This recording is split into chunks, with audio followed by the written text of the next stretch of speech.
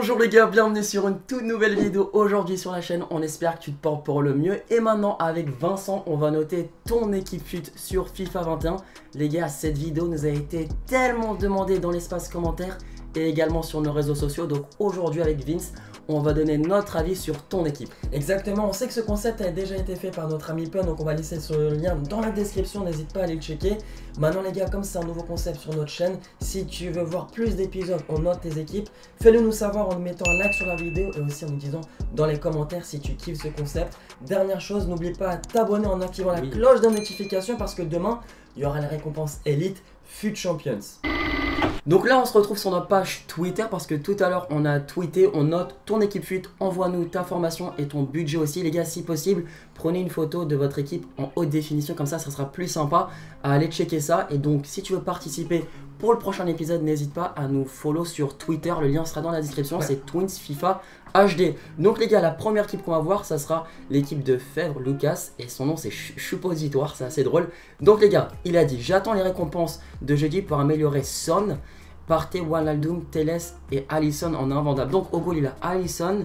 Déjà au niveau de la défense, c'est très solide. On voit que Semido, pour moi, c'est un des meilleurs défenseurs droits du jeu. Joe Gomez, c'est solide. Alex Teles, si tu le mets un style ombre, c'est nickel, mais il va améliorer. Euh, Teles et Allison. Le problème en, première ligue, c'est que tu pas beaucoup de défenseurs gauche très très forts. Donc moi, ce que je pourrais peut-être te conseiller, c'est que tu mettes un, tu mettes un Varane ou peut-être que tu mettes un Langlais à la place de Nathan Ake et que tu mettes ensuite en défenseur gauche Ferland Mendy. Parce que Ferland Mendy, c'est ce qui se fait de mieux en tant que latéral gauche. À mon avis, si tu veux rester en première ligue, bah pourquoi pas, tu peux upgrade Teles avec Patrick Van Anolt en, en tant que briseur de règles. Mais à mon avis, mettre 200 000 crédits sur un arrière gauche à ce moment-là du jeu, c'est un peu trop risqué, mais bon. C'est un peu trop risqué. Moi, je te conseillerais franchement, si tu as assez de crédit, upgrade ton party avec Pogba. Et si tu as encore plus de crédit avec tes récompenses, surtout prends-toi Kanté. Parce que je pense que Kanté, c'est le meilleur, milieu de terrain défensif de première ligue. Après, niveau Son, je pense que Son, c'est un, buteur exceptionnel. Je pense que tu joues Zaha et Lucas sur les côtés. Et niveau buteur, je crois que c'est Son et Rashford. Tu peux peut-être euh, prendre la version euh, boost de, de Zaha si tu as assez de crédit, comme c'est une, une version qui est dans l'axe, qui est en tant que striker, en tant que buteur. Donc n'hésite pas si tu as assez de crédit, à, pourquoi pas te prendre la version euh, informe de Wilfried Zaha. Mais en attendant, Nathan Ake pour moi aussi c'est un joueur que tu pourras upgrade en prenant pourquoi pas aussi un, Virgil van Dijk si vraiment tu as beaucoup de chance dans la récompense FUT Champions de demain. Ou pourquoi pas aussi un, un Laporte briseur de règles, ça peut faire beaucoup, beaucoup de taf. Et c'est un défenseur qui est très très fort. On a, on a joué contre lui en draft hier, il était exceptionnel. Donc là, les gars, on a l'équipe de Mehdi. Il a dit Eto remplacera Son prochainement. Il a un budget de 1,7 million pour l'instant. Donc déjà, on sait que Mehdi, il est pas pauvre. Il, a des crédits, voilà, il est bien. Défensivement, Walker, Gomez, Varane, Mendy, c'est ce qui te fait. Honnêtement, c'est ce qui se fait mieux au niveau des régulars. Pogba Kanté, moi j'adore cette complémentarité au milieu de terrain. KDB en 10, alors là il faut voir. Là il faut voir euh, ce que ça donne en 10 parce que moi KDB cette année j'ai l'impression que c'est plus un box-to-box ou même un numéro 6, un, un MDC. Après Gareth Bell, moi c'est un joueur que j'échangerai. J'ai Gareth Bell sur le compte anglais, je sais que c'est trop lourd, c'est pas assez agile, ça manque d'équilibre. Donc moi à mon avis, euh, pourquoi limite ce que tu peux faire c'est que tu gardes Son, parce que je sais que Son tu l'as en, en invendable, et Son tu peux le faire jouer même limite sur le côté, et que tu mets Samuel Eto'o à la place de Gareth Bell, et Son sur le côté, Samuel Eto'o en pointe. Pour moi, ça pourrait être la meilleure idée possible. Ou pourquoi pas aussi euh, tester soit Best ou Garincha, comme ce sont les meilleures icônes qui sont en tant que milieu droit, en tant qu'attaquant droit. Pourquoi pas tester Garincha Parce que je pense que Garincha, si tu as vraiment beaucoup de crédit, ça peut être une icône qui peut être archi sympa à jouer avec et je pense qu'il peut faire beaucoup de taf en tant que buteur parce qu'il est extrêmement rapide et extrêmement agile donc Mehdi c'est à toi de voir après si tu vas absolument Eto bien évidemment fais-toi un gros kiff avec Samuel Eto parce que je pense qu'avec Samuel Eto et ou Cantona et Puskas je pense que c'est les meilleures icônes les meilleures nouvelles icônes de ce jeu largement c'est vraiment très très très fort. On a joué quelques fois contre eux en FUT Champions et ça fait un taf de ouf. En sachant que moi sur le compte anglais je veux m'acheter Samuel Eto'o aussi donc c'est pas mal. Mais dis si t'as Samuel Eto'o avant moi, fais-moi fais dire, dis-moi dans les dis-moi en DM s'il est très fort euh, Samuel Eto'o. Alors là, on a l'équipe de Léo. Alors, Alex Texera, Paulinho. Donc, déjà, moi, je vois que Alex Texera, tu dois le prendre en, tant que briseur de règles. Je sais pas ce que ça donne, honnêtement, à Davidson Sanchez à ce moment-là du jeu. Je sais que c'était très cheaté en début d'année. Là, il faut voir peut-être ce que ça donne. Tu voulais un peu d'originalité et tu vas essayer d'aller chercher le petit Alex Texera, rule breaker. Ouais, non, mais c'est pour moi, honnêtement, je vois Alex Texera, briseur de règles. Ça doit être la priorité pour ton équipe. Je pense que c'est une très très bonne équipe. Ils jouent en 4K2. Donc, Hakimi descend en défenseur droit et c'est Quadrado qui passe en tant que milieu droit. Je pense que c'est une superbe équipe. Franchement, je pense que c'est une excellente équipe. Après, pourquoi pas euh, latéral gauche, pourquoi pas. Euh, ouais, Robertson, pourquoi pas Robertson, ou non, pourquoi pas tester Ashley Cole. Parce que Ashley Cole, je sais qu'il est anglais, défenseur gauche anglais, c'est une icône. Je sais qu'il coûte autour des 300, 350 000 crédits. Je sais que c'est quand même un petit budget. Mais euh, Léo, pourquoi pas te, faire un petit kiff avec Ashley Cole en tant que défenseur gauche, même si c'est peut-être pas la priorité, pourquoi pas te prendre aussi une meilleure icône en tant que défenseur central à la place de Davinson Sanchez. Ouais, mais on sait que t'as. Dis-nous dans les commentaires de cette vidéo, là si tu finis hors 3 parce que t'as chance au niveau des rouges. Ouais, c'est euh, quand même. T'as volé toute notre chance, C'est pour ça que tous les jeudis on a aucune chance et c'est toi qui la vole en vrai. Hein. allez, on va continuer avec l'équipe suivante, les refs. On va prendre la team de euh, Maxime Zuito. Team à moins de 600k avec Paulinho, carte rouge. Comment tu peux upgrade ta team? Alors là, le problème, c'est que là, les gars, pour le deuxième épisode, dites-nous dans quelle formation tu joues. Parce que là, je sais pas si c'est la formation que tu joues in-game ou pas. Parce que je, pense que tu, je pense que tu joues à Papo Gomez en tant qu'ailier. Ouais, mais tu vas faire redescendre Paulinho en tant que milieu. Mais dites-nous les refs dans, dans, dans, le deuxième épisode, votre formation, comme ça on a une meilleure idée sur quel joueur tu pourras vraiment améliorer ton équipe. En tout cas, défensivement, moi j'aime toujours partir défensivement. Koulibaly Manolas, très sous-côté cette année. Guardado en tant que défenseur droit, euh, essaye de prendre le, briseur de règles si tu un petit peu plus de crédit. Ou pourquoi pas te prendre Bruno Pérez en tant que défenseur droit Parce que ça peut donner du lien, euh, la nouvelle carte de Europa League de Bruno Pérez. Comme ça va donner un lien orange avec Paulinho. Et il joue toujours en Serie A. Même si c'est la Roma, il joue toujours en Serie A. Donc pourquoi pas upgrade Guardado avec Bruno Pérez. Après, défenseur gauche, euh, en Serie A, t'as pas, pas grand monde. Hein, tu pas grand monde. T'as la version boost du coup de Théo Hernandez qui, qui est autour des 130 000 crédits, c'est un peu cher quand même, mais c'est la version boost de Hernandez, si tu veux la prendre, prends-la. Et par contre, moi, ce qui me, ce qui me, ce qui me, ce qui me brille un peu sur, sur, le, sur cette équipe, c'est Alan. Donc si Alan, tu peux l'échanger avec un très bon milieu défensif en Serie A, fais-le. Ou même un milieu défensif brésilien en Serie A, fais-le. Je sais que tu as Lucas Leva, mais Lucas Leva comparé à Alan, c'est pas très fort. Donc même limite au niveau du collectif, fais sortir Lucas Leva pour, euh, pour Alan au début de match. Si vraiment Alan, tu sens que à 7 de collectif, ça peut pas faire le taf. Ou peut-être pourquoi pas Nangolan. Je sais que Nangolan peut faire le taf, mais euh, le problème c'est qu'après ça va donner ça va pas donner beaucoup de liens entre Paulinho et Alex Teixeira. Donc moi personnellement j'aime bien Alan. Je l'ai trouvé un peu lourd à chaque fois que je joue contre lui, euh, avec lui, mais je pense que c'est quand même une très bonne carte. Honnêtement, c'est une très belle équipe, mais pourquoi pas te prendre Bruno Pérez, la carte Europa League dans ton équipe. Donc les gars, la prochaine équipe, ça sera une équipe de Ambers. Alors là, mon ref, je sais pas c'est quoi ton budget. Je pense que c'est une très bonne équipe. Très bonne équipe, je sais pas. Après, je te dirais honnêtement, en tant que, en tant, à la place de Fred, pourquoi pas te prendre N'Golo Kanté si tu as, si as des bonnes récompenses. Mais comme je peux voir, tu as 6000 crédits seulement. Faudra des bonnes récompenses demain sur Fit Champions. En tout cas, la défense, rien à dire. Très honnêtement, de Nayer Camara, c'est original. Moi, j'aime bien avoir un petit peu des équipes originales. Et euh, franchement, c'est plutôt sympathique. Et encore une fois, Timo Werner en carte, rouge. Dis-nous dans les commentaires, euh, Amber, si t'as fini hors 2 ou hors 3. Euh, quand tu as tapé Timo Werner. Mais après, Lucas Rashford, c'est très très fort devant. Martial, son prix va blesser pour le Black Friday. Donc si tu as envie de le vendre, ou si tu sens que Martial, ça peut-être pas assez le taf, bah pourquoi, pourquoi pas économiser et mettre un, mettre un Rashford du coup en tant, que, en tant que MG ou en tant que MDC. Et après, pourquoi pas aussi upgrade upgrade avec un, joueur du, style Son à la place de Martial si tu sens que Martial ne te fait plus le taf. Ouais, ça peut être sympa ou sinon tu mets tout simplement Pogba à la place de Fred. Pogba tu le fais jouer en tant que, en tant que milieu. gauche et comme ça tu auras Son. Certes, il sera 7 de collectif, mais ça restera quand même supérieur à Martial. Pour moi, je trouve parce que Son, il est vraiment largement supérieur à Martial, je trouve. Donc les gars, on va retrouver une autre équipe, formation 4-1-2-1-2. donc là, ça peut être une formation intéressante.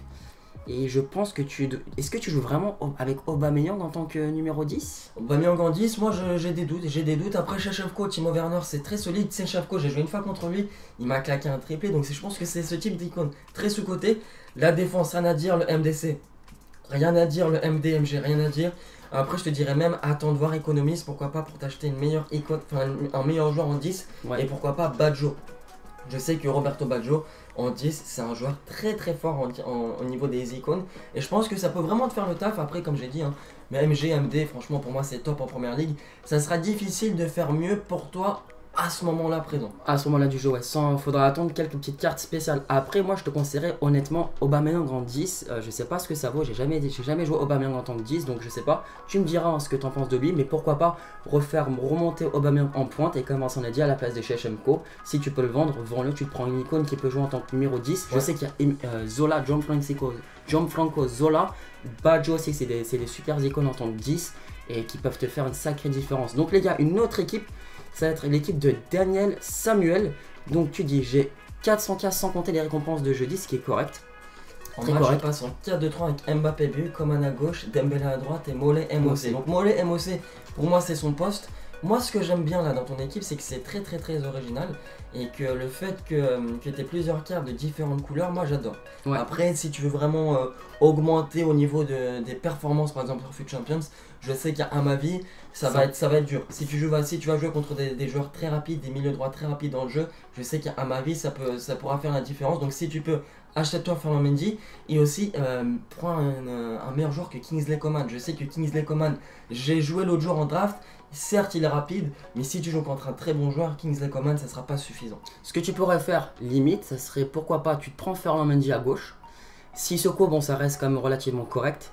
Mais ce que tu pourrais faire, ce serait carrément de, peut-être économiser aussi pour Neymar. Parce que je sais que Neymar en attaquant gauche, c'est ce qui se fait le mieux. Ou Saint-Maximin. Oui, Saint-Maximin, ouais. Saint-Maximin, ça, peut être, ça peut être pas mal. Surtout si Daniel, tu, joues avec les gestes techniques. Si tu joues avec les gestes techniques, je te conseille d'utiliser Saint-Maximin. Juste la carte normale de Saint-Maximin. Certes, ça sera un petit peu moins bon dans la finition, mais il va te créer plus d'occasions avec les gestes techniques, surtout si tu les utilises beaucoup. Et dis-nous, c'est ce que ça donne aussi Morgan Sanson. J'ai encore jamais joué contre lui et je sais que sa carte, elle va rester. Euh, toute l'année à 82, donc ça peut être, un bon investissement Morgan Sanson sur le long terme, malgré le fait que sa carte, à mon avis, euh, va rester à 82. Après les en tant que supporter parisien, c'est ce qu'on peut se dire, mais il faut être réaliste. Je pense pas que l'OM, ça peut peut-être se qualifier en Europa League, mais je pense pas que ça va aller très, très, Je pense pas que ça va aller très loin. Après, on sait pas. Hein, Morgan Sanson, ça, ça, va sûrement rester 82, donc s'il te plaît, dis-moi si c'est si c'est solide ou pas. Ensuite, salut les BG, je passe en 4-4-2, une formation qu'on a qu'on apprécie beaucoup avec l'herbe, et j'ai 204 budget. Quentin, Kanté, Pogba, Van Dijk, Fernand Mendy et Lucas, invendable. Donc Alors là, Yo-Yo, là t'as une, une très très belle équipe. Là, je vais pas te mentir que là, c'est une des équipes les plus méta. Après, avec 204 budget, je vais pas te mentir que euh, limite, tu pourrais vendre Aubameyang et te faire un petit kiff avec des icônes. Pourquoi pas tester Fernando Torres? Pourquoi pas te. Pourquoi... Moi, franchement, c'est ce que je te conseillerais parce que là, tu as vraiment une équipe archi, archi euh, qui est archi, archi méta, mais pourquoi pas aussi changer euh, Martial? Pourquoi pas vendre Martial et tu te prends une icône dont tu peux, tu, peux faire un petit kiff, genre Fernando Torres, il faudrait que tu aies des récompenses plutôt sympas.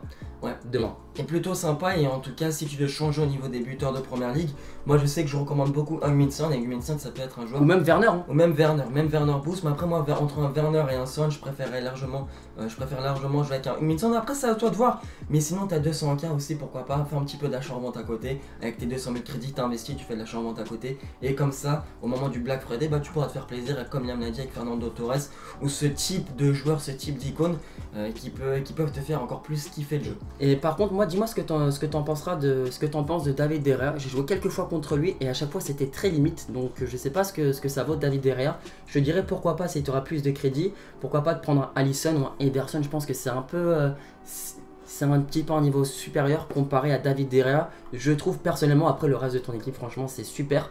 Donc les gars, on va continuer sur la prochaine équipe et ça va être l'équipe de Jojo. Ouais, et après les gars, après cette équipe, après on va en faire une autre, après ça sera la dernière la ref, comme ça la vidéo elle va pas non plus durer 30 minutes, c'est pas ce qu'on veut.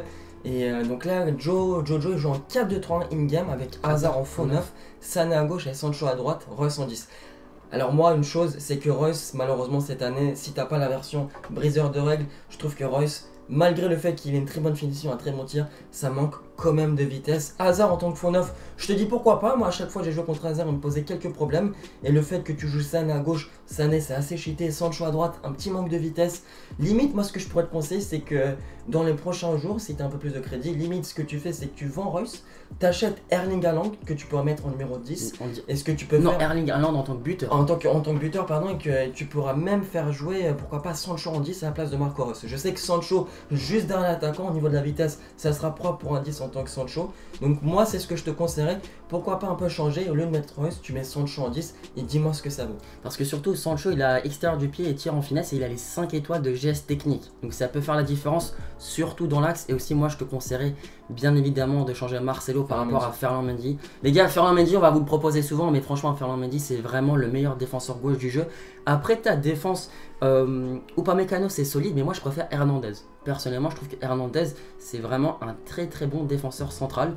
Et c'est vraiment un, joueur qui est très très fort. Vincent l'utilisait toujours jusqu'au dernier même FUT Champions. Donc c'est pour te dire qu'avec Hernandez, tu peux faire du sale. Ou sinon, ce que tu peux faire, c'est que tu vires Upamecano, tu mets Klosterman à droite, au goal tu mets Der Stegen, parce que là on voit que tu as 400 000 crédits. Donc Der Stegen au goal, Klosterman à droite, Upamecano tu l'enlèves, tu mets l'anglais, tu as l'anglais Ferland Mendy, et comme ça tu as un lien vert, l'anglais ouais. l'anglais Ferland Mendy, et Der Stegen au goal, et comme ça tu as Klosterman aussi qui a du collectif avec Goretzka. Donc moi c'est la défense très sympa que tu peux faire. Klosterman, l'anglais, je pense que ça sera très très fort. Donc là, on va, on, va checker l'équipe de Nabla et tu dis Davies invendable. Bah, il y a pire, frère. Hein. Il y, a pire, y a vraiment pire comme, euh, comme pack invendable. Donc j'aime bien, tu as, fait le nouveau Atal. Nous, on l'a toujours pas fait sur le compte. On sait pas. Je pense que c'est une très bonne carte, mais je sais pas si Nice, ça va aller très loin en Europa League. Mais je pense que quand même, c'est un bon SBC. Je vous le conseille de le faire, les gars. Mais nous, je sais pas encore si on va le faire. Donc les gars, Gelson Martins à droite, Pierre Lys Melou. Alors là, déjà, que box to box et. Le, le, petit problème que, que, j'ai dans cette équipe, c'est que j'ai l'impression au milieu de terrain, c'est un peu faible.